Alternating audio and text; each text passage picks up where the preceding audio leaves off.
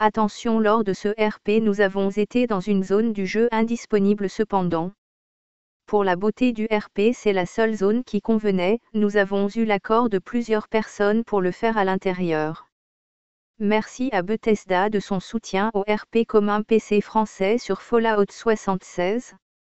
Nous vous souhaitons un bon visionnage.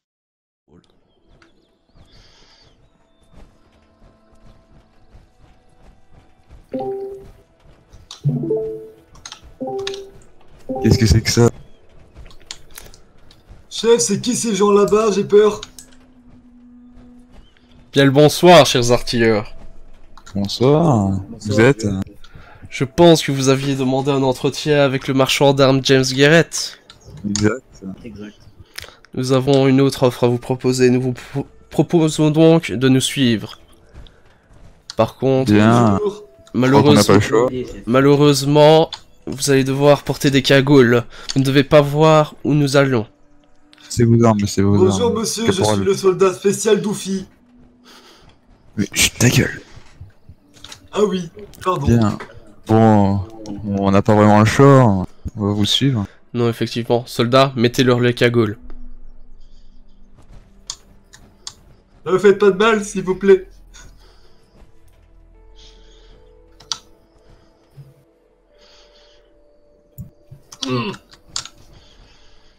J'ai vraiment besoin de cagoule, étant donné qu'on ne voit déjà pas mon visage. Le fait étant que si vous voyez où on va, vous pourrez le dire à tous vos petits copains. M'exécute. Bien. Maintenant, nous allons aller dans un endroit secret. Bien, messieurs les artilleurs, veuillez avancer. Faites attention aux marches, évidemment. Quelle marche Extérieur, on approche du bunker. Bien.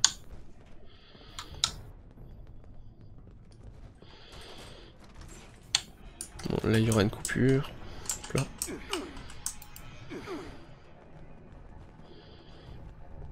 Suivez la rampe.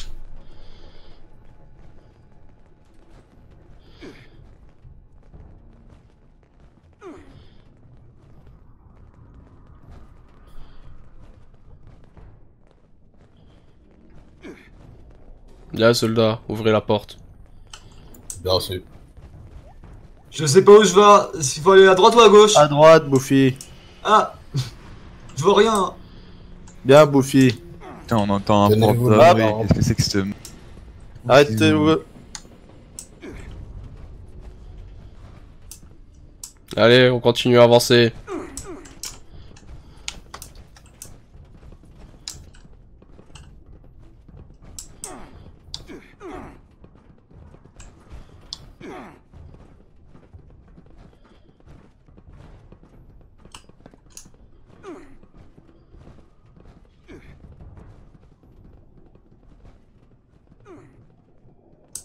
Attendez ici.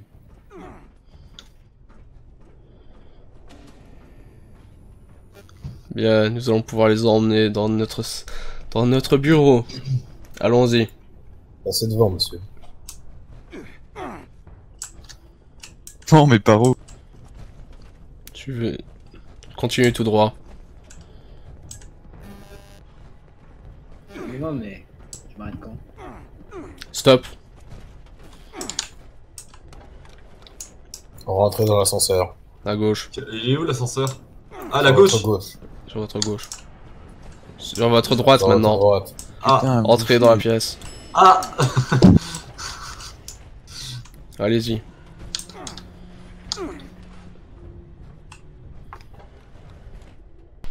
Soldats, vous pouvez leur enlever leur cagoule.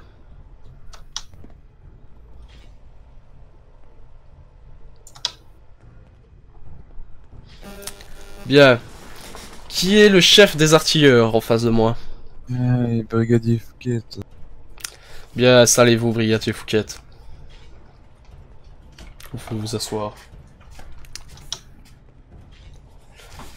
Bien. De fait, donc, vous ne savez pas encore qui nous sommes, mais je pense que vous avez déjà Ouais. quelques petites informations à, à notre sujet. Bien, je me doutais d'un truc, mais je... Je pense que vous êtes un, un groupe gouvernemental. Effectivement. Et si nos sources sont bonnes, vous êtes des anciens soldats. Exact. Bien. Quel est votre objectif dans les Appalaches, cher brigadier Fouquet? Euh, ben, survivre moi et mon, mon- moi ma brigade, enfin mon, Bien. euh, et se, se- se- s'en mettre plein les poches. Hmm, Vous êtes donc des mercenaires. Bien, sachez que l'enclave, donc nous, notre armée gouvernementale, nous désirons prendre possession des lieux, mais nous avons besoin de forces armées, de préférence. C'est exact, oui. Nous sommes une force armée. Et entraînée aussi. hein. Bien, je l'espère bien, surtout que On connaît bien le terrain. tant Ah. mieux, puisque nous, nous venons de du bunker principal de l'enclave. De fait, malheureusement, nous ne connaissons pas encore très bien les lieux. Cependant, quels seraient vos objectifs? Avons-nous des objectifs communs déjà? Euh, je n'ai pas d'objectif euh, principal. Si vous pouvez nous aider euh, à, à survivre face aux, aux assauts de la RNC qu'on qu'on va se prendre dans le futur ou euh, d'autres alliés, ça pourrait, ça pourrait être euh, sympa. Bien. C'est quelque chose qui peut se faire. Cependant, sachez que chaque service rendu de part et d'autre devrait être récompensé par d'autres services. Bien, Sach- oui. On- Sachez aussi que nous, nous sommes quand même une puissante forte armée par nos armures assistées, nos armements et ainsi de suite. Mais sachez que si vous nous trahissez, vous signez votre arrêt de mort. Ce n'est pas une menace, c'est simplement un fait, soldat. Enfin, brigadier. D'accord. De fait, je pense que nous pourrions conclure de certains accords, comme vous fournir de l'armement nécessaire pour réduire à néant tous vos ennemis, ainsi que peut-être vous proposer des renforts, va-t-on dire. Qu'en Ça, pensez-vous? ça m'intéresse, hein, oui. Et vous, hein, qu'est-ce que vous me proposez de votre C'est plutôt vous qui devez me proposer quelque chose. Moi, je vous propose déjà de l'armement Ah. et potentiellement des renforts. Oui, mais contre quoi? C'est ce que je voulais dire. De préférence, l'enclave voudrait des soldats. De nombreux soldats pour reconquérir l'Amérique et reconstruire cette Amérique. c'est ça votre nom, du coup. Oui, effectivement. D'accord, d'accord. Ben, vu que vous allez, vous avez l'air, de- vous avez l'air d'un groupe euh, à peu près secret. hein. Euh, ce que je peux faire, moi, c'est, euh, c'est, c'est, c'est faire des, des trucs. euh, on saura que c'est, par exemple, un assaut ou des choses comme ça. hein, On saura que, on saura pas que ça c'est vous, vu que ce sera totalement nous. Enfin, vous voyez. Oui, je On peut pas- de parler Hein? Permission de parler Oui. Euh, moi j'avais une idée, c'était qu'il y avait des gens qui se faisaient appeler la confrérie de l'acier. Et ces gens-là nous ont attaqué la tour relais. Exact. Et ben on n'aime pas vraiment ces gens-là. Voilà. Oui, aussi. Bien. Mais bon, c'est, un... du coup, ce que vous nous proposez, c'est une alliance euh, pure et simple, et un petit peu économique, enfin plutôt militaire et économique.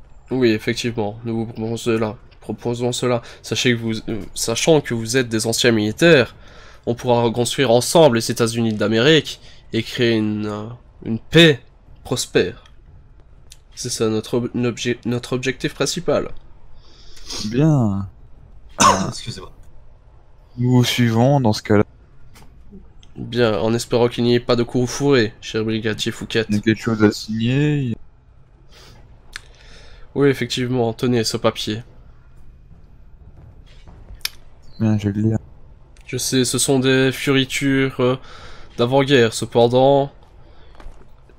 Cependant, sachez que euh, ces fioritures d'avant-guerre font en sorte que les États-Unis d'Amérique soient prospères. Puisque malheureusement, après la Grande Guerre et la chute des bombes, nous avons perdu tout contact avec les groupes militaires. D'accord, bon bah je, je vais le signer. Euh, excusez-moi. Bon, Ouais. la- fini de faire semblant euh, d'imiter un handicapé. Euh, J'aimerais vous demander quelle est votre opinion au niveau de la confrérie de l'acier. Mon opinion est simple, ce sont des anciens militaires, mais cependant ils sont devenus complètement tarés. Ils Je volent et pillent euh, la technologie. L'attaque de la tour de relais, ils ont essayé d'installer une, puces électroniques au sein de la tour relais. J'ai pu analyser leur connectique. euh, ces hommes étaient en train d'essayer de, de, de prendre possession de la tour, essayer de, de faire des choses. Je ne sais, je ne On saurais a même dire. récupéré des plaques. euh. Nous avons rencontré au gala la chef de la confrérie de l'acier qui se nomme Alana Schofield. Cette femme est actuellement la dirigeante de la confrérie de l'acier et euh, a commencé à vouloir nous chercher quelques noises. Nous avons tenté d'éliminer euh, la- l'agent Alania, mais euh, sans succès. Néanmoins, je peux vous confirmer que la confrérie de l'acier représente bel et bien une menace pour le gouvernement américain. Bien, merci. Son but est de, de, de, de prospérer, euh, elle, malgré les... Elle ne, elle, ne, elle, elle ne veut pas reconstruire l'Amérique du tout. Elle Ce veut sont juste, des égoïstes euh, qui volent de la technologie, c'est bien ça. Exactement. Et que pensez-vous des autres factions présentes dans les Appalaches? J'ai entendu dire qu'il y avait des Samaritains, une certaine RNV et ainsi que des pillards et des mafieux. C'est Des ça. mafieux, je n'en ai jamais entendu parler. Je vois pas de quoi vous parlez, monsieur. Bien. Ah bon, hein, Je crois que vous pas- parlez de, vous parlez de, de pillards. on a un groupe, euh, si vous voulez, euh, la Fossoyeuse, euh, qui sont de très bons... Ah, Euh, bien. La fossoyeuse, c'est pas des, c'est pas des pillards? Eh, si, si, c'est des pillards. Mais euh, bon, euh, ils nous engagent souvent et on, ils ont peut-être des comptes à nous rendre. Euh, des, des petits services euh, à nous rendre. J'ai aussi Après. entendu parler d'une expédition en direction de Spoxnob. Des gens essaieraient d'établir une ville C'est ça. à la Oui, fondation. Ceci, nous nous avons voulons, l'information, puisque Voltec est, est toujours allié avec l'enclave, et du coup les États-Unis d'Amérique. Il ne constitue pas une menace imminente, mais sachez que tout est sous contrôle de ce, de ce fait. Sinon, euh, qui se rassemblent au cratère, vous allez en faire quoi? Le cratère n'est plus une source d'ennui, étant donné la forte le fort taux de radioactivité de la zone, nous avons déjà eu, bon d'envoyer des hommes récupérer les informations utiles et griller tous les disques durs. De fait, il n'y aura aucune importance à protéger ce lieu. Mais les pillards ne sont pas un danger?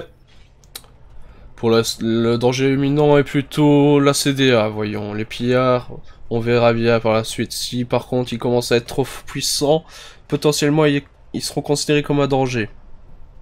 Tout à fait, oui. Mais sachez Sinon, que euh, des gens éduqués ou des gens qui ont eu peu d'éducation, il y a tout de même moyen de les éduquer. Par contre, des gens comme la CDA qui sont fous alliés à ce point-là, eux, il y a moyen de, comment dire, les faire disparaître. sinon, il y, aurait un, un autre euh, ennemi futur. Ça serait la RNV. C'est une sorte de, de, de groupe gouvernemental comme vous, mais en plus pauvre euh, et qui prône une république. Hmm. Euh, en gros, euh, ce qu'il me faudrait, c'est euh, des- quelques renforts pendant une bataille qui serait euh, une bataille de, de prise de une bataille de prise de de- de- d'usine d'armement qu'on aurait avec les pillards et la fossoyeuse. Et à mon avis, les, la- les, les pillards d'un certain Vachaud euh, vont apporter quelques amis. Si on pouvait le avoir le soutien de l'enclave pendant cette, Bien. ça nous, ça- ça nous intéresserait beaucoup. Euh, ben, brigadier, j'ai entendu dire que vous avez mentionné avoir traité avec ce Vachov. Est-il vrai que vous alliez euh, tenter une attaque sur l'usine de munitions en compagnie de ces pillards? Euh, top secret, je vous en dirai pas plus. Très bien. Bien, mais de ce fait, nous pourrons vous accorder deux soldats. Sachez Bien. que nos hommes sont lourdement armés, mais ils se déguiseront de fait pour passer inaperçus. Je comprends. Puis vous pouvez, euh, ce qui serait bien, c'est que vous pouvez un peu manipuler tout le monde en, discu- en discutant. Enfin, vous pourrez, je sais pas, moi, mettre euh, notre compagnie des mafieux. Comme ça, ça pourra, ça pourra faire un peu un beau bordel dans, dans les relations des autres. C'est une très bonne idée. Détruire les routes que- commerciales à l'intérieur pour mieux régner. Exact. J'allais dire, je pense que quand vous mentionnez des mafieux, je ne pense, je ne pense pas que vous parliez de, d'Alec Volkov. Non, non, mais vous parliez bien de, de cet homme qu'on nous avons rencontré au gala, enfin l'espèce de type en blanc. bien Là. sûr, bien sûr. D'ailleurs, c'était qui ce- cet homme, le marchand là? C'était un de mes hommes. D'accord. D'accord. Bien, ben, je, je pense que tout est dit. Effectivement, tout est dit. Je vous accorde donc la possibilité de faire appel à deux de nos hommes pour vous épauler durant votre péripétie. Mais faites attention, faites en sorte qu'ils restent vivants. Des soldats de l'enclave sont compliqués à recruter et compliqués à former. Mais sachez aussi qu'on pourra vous fournir des formations adéquates et vous aider à vous fournir en armement. Possiblement. l'armement et les formations, ça devrait aller, mais euh, si vous voulez de l'aide, enfin, il y a de très beaux trucs qui brillent vert là. Ça, Quel genre de Mais- choses vertes? ce, ce, ce, ce- ce fusil euh, juste ici, euh, ça m'a l'air d'être C'est du secret défense, malheureusement. Euh, permettez de parler, euh, monsieur négatif. hein. Très bien. Secret Bien. défense. Ce sont des prototypes et les per- c'est très difficile d'en fabriquer. Nous-mêmes, nous avons des pénuries d'armes et de munitions de ce type d'armes. D'accord, bah si vous, vous savez comment les fabriquer, ce que je pourrais faire, c'est faire des missions de récupération avec mes troupes. On enterrera le, le matériel quelque part dans une caisse et vous viendrez le récupérer plus tard.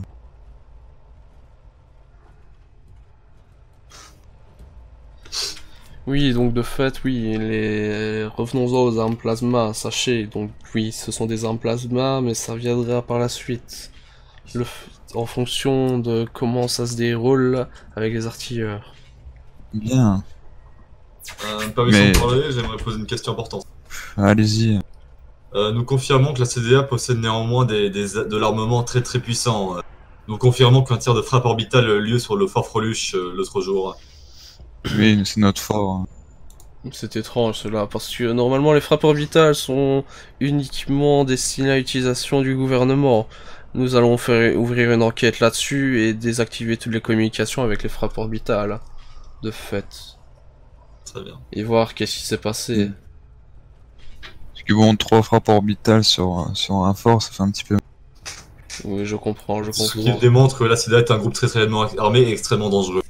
Effectivement. Et surtout s'ils ont réussi à pirater les frappes orbitales du gouvernement américain, ça risque d'un mauvais présage pour l'Euroclave et pour les artilleurs et pour tous les Appalaches. C'est un danger imminent, oui. C'est peut-être tout simplement qu'ils ont Alors, j'ai rien compris ce qu'a dit votre soldat. Oui, à mon avis, ils sont masques, les un peu... Ouais, effectivement, soldat. Ils disaient simplement qu'ils ont certainement récupéré des choses, et de fait, c'est peut-être à cause de ça qu'ils ont réussi à déclencher ces frappes orbitales. De fait, nous allons devoir étudier la question à l'intérieur, et si nous trouvons le moyen d'arrêter à ce que la CDR puisse utiliser les frappes orbitales, nous vous en informerons de ce pas. Le plus dangereux serait qu'il y a, euh, dans leur quête de technologie qu'ils finissent par trouver des codes pour avoir les, les silos nucléaires de la région. Alors là, ça serait Ne vous tracassez pas pour ça. Les, si- les codes de silo nucléaire, personne ne saurait les décrypter, seulement hormis l'enclave. Et encore, ça prendrait énormément de temps. Et surtout, ce serait un véritable bas de sang pour la CDA, ou les artilleurs, ou quelque autre, euh, quelque autre faction. Puisque les procédures de sécurité à l'intérieur sont en état d'alerte maximale, en DEFCON 1. De fait, toutes les unités présentes à l'intérieur tirent sur tout ce qui bouge. Tout à fait, oui. Oui, J'ai travaillé de, pas là- dans un de ces bunkers, mais je- j'ai j'étais dans un dans un dans, dans un poste dans en poste dans un bunker. Puis Hmm. bon, euh, voilà. Quand tout est tombé, on nous a pas reçu d'ordre. Du coup, nous, Oui, malheureusement. avons décidé de travailler seul. Mais maintenant que nous avons des ordres, Bien voilà. Vous pouvez vous dire que vous êtes de nouveau dans l'armée américaine, chers soldats. du coup, euh, était l'enclave et les. Ouais, permettez-moi de prendre une petite photo souvenir euh, juste pour moi. Non, non, non, pas de photo. Tout à fait, oui. Voilà. On peut reprendre. Oui, du coup, Voilà. vous disiez brigadier Fouquet. Bien, euh, tout ce que je disais, c'était vive l'empre- euh, vive, vive euh, les euh, l'enclave et vive les. Effectivement. Eh bien, maintenant, mes, pouvons sol- réjouir de cette alliance. oui. mes soldats vont pouvoir vous raccompagner. Par contre, vous allez devoir rééquiper vos cagoules. Soldats, remettez-leur les cagoules. Bien reçu, officier. Une dernière question. Attendez, j'ai pas de parler. Une dernière question. Bien, vous pouvez Euh, parler. Est-ce que les artilleurs vont officiellement rejoindre le gouvernement américain? Oui. C'est D'une prévu. certaine manière. D'une certaine manière, oui. Dans ce cas-là, je suis un soldat de l'enclave aussi ou je suis toujours soldat des artilleurs Toujours soldat des artilleurs, hein, les, les- Les artilleurs seront comme une branche de l'enclave, voyons. Très bien. Je me qui cool. Voilà. Voilà. Soldats, vous pouvez les raccompagner jusqu'à la sortie. Mettez-les vers euh, Flatwood ou le camp McClintock. Affirmatif. Affirmatif. Bien, lieutenant. Ne pensez pas que vous faites désormais partie de l'enclave. Pour le moment, vous êtes encore en test. De l'autre côté. Ah, de, de l'autre côté, je, je ne vois pas. Demi-tour.